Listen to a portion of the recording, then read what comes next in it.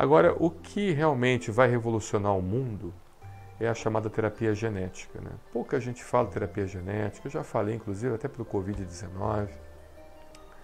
Não sei se existe uma grande conspiração mundial para que as coisas não sejam faladas no seu tempo. Né? Não sei se é isso, ou se realmente as pessoas se desinteressam, ou se uh, as pessoas são céticas né, a coisas novas, né? mas o que eu digo que vai ser o divisor de águas para a humanidade é o manejo do genoma. Mas não é o manejo do genoma só de seres, de seres humanos, não, de seres vivos em geral. Né?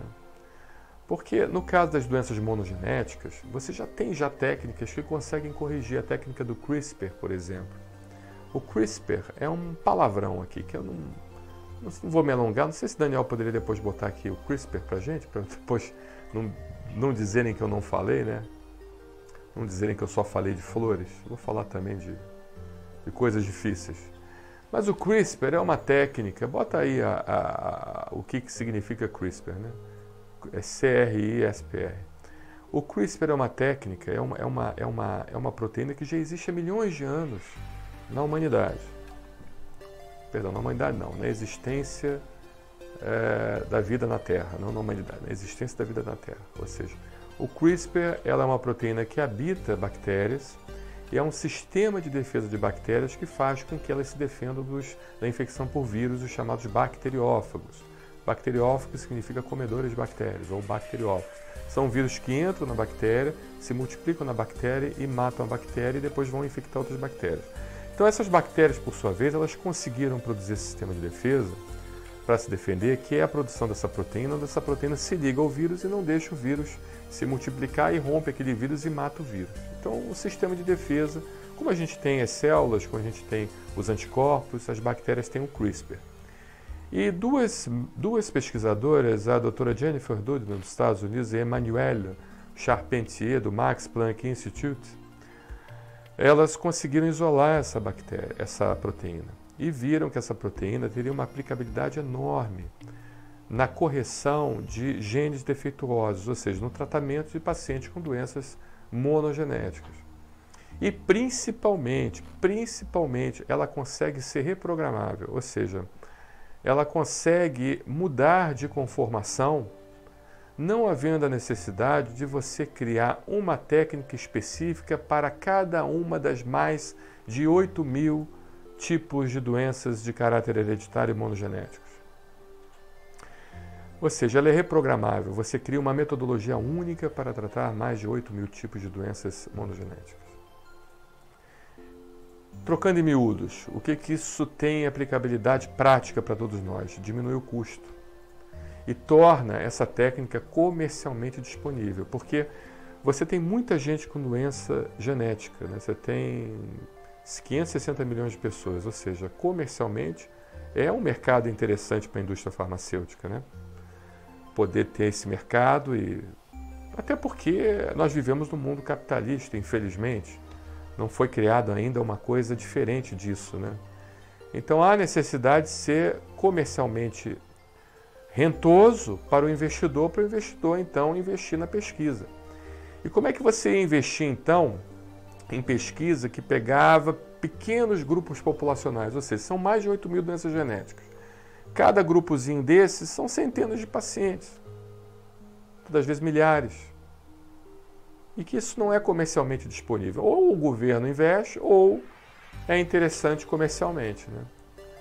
E com a, esse advento do CRISPR, é, você consegue adaptar essa proteína para o tratamento dessas mais, 8, mais de 8 mil tipos de doenças hereditárias usando a mesma metodologia e sem a necessidade de você gastar muito dinheiro em pesquisa para cada, cada uma das 8 mil doenças hereditárias. Você simplesmente se identifica o, o, a porção genética aonde tem o erro para fazer a transcrição e a produção da proteína, identifica aquilo ali, aí você programa o CRISPR, o CRISPR vai lá e consegue cortar então aquela porção genética cortando, ou às vezes, muitas das vezes, sendo também um facilitador para a introdução de nucleotídeos que venham a corrigir aquela leitura do, do RNA e do DNA, do DNA principalmente. Né? É, muito bem. E isso realmente foi uma revolução. Eu não sei porque essas duas pesquisadoras ainda não ganharam o prêmio Nobel. Deviam ter ganhado já. Eu, particularmente, acho que elas são grandes merecedoras do prêmio Nobel. Depois, a comunidade científica vendo essa aplicabilidade, até porque essa metodologia é uma metodologia sem patente, né? o que tem patente é a técnica, mas não não a proteína em si. A proteína ela é, não pode ser patenteada porque nada que existe na natureza de forma natural ela pode ser patenteada. O que pode ser patenteado é a técnica. Então, vários pesquisadores então começaram a buscar formas de utilização dessa técnica para outras aplicabilidades da medicina. Outros pesquisadores também estão fazendo pesquisa é, na área de doenças virais, por exemplo. Tem gente séria pesquisando o uso do CRISPR no tratamento da AIDS, por exemplo. Já estão fazendo já pesquisa clínica com isso. A introdução do CRISPR, onde o CRISPR se liga ao material genético do vírus, rompe o material genético do vírus e você, de certa forma, consegue ter uma eliminação completa do vírus HIV utilizando o CRISPR. É, isso pode ser também utilizado em vários modelos, inclusive no ebola, que é uma doença extremamente grave. Imagina o dia que o ebola sofreu uma mutação, né? Como o mundo vai sofrer? Nós estamos sofrendo com Covid-19, imagina o ebola, onde mata 50% daqueles pacientes infectados. Uma a cada duas pessoas morre por causa do ebola. E tem gente muito boa canadense, americana, europeia, usando a técnica do CRISPR para o diagnóstico e o, e o tratamento do ebola. O Covid-19 é a mesma coisa. O Covid-19 já, já conseguiu-se já desenvolver a técnica do CRISPR para tratar o Covid-19. Tratar e diagnosticar o Covid-19. Inclusive, nós estamos conduzindo uma pesquisa científica junto com a Santa Casa, uma outra instituição que eu não tenho a permissão de falar, mas de muita relevância aqui no Brasil, não tem essa permissão de falar, e a Universidade Laval. É, para o diagnóstico do Covid-19 rapidamente, horas após o contágio. Então, estou dando só alguns exemplos. Né? Para o tratamento de câncer também, você consegue, com o CRISPR, modificar células T, chamadas Chimeric, Chimeric Antigen Receptor, e o CAR cells, e você consegue então tratar cânceres hematológicos e cânceres sólidos, em pesquisa ainda, com uma eficácia maravilhosa, com efeitos colaterais infinitamente menores do que uma terapia de quimioterapia, de radioterapia, por exemplo.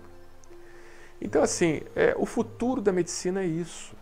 E para o Covid-19, agora que nós estamos vivendo essa pandemia, tinha que se investir muito. Conseguimos um recurso financeiro aqui da agência de fomento, a FAPERJ, para financiar nossa pesquisa, mas ainda é insuficiente.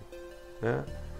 Mais do que a vacina, a gente tinha que criar uh, um patrocínio maior para o CRISPR, porque o CRISPR ela é a solução para a humanidade, para tudo.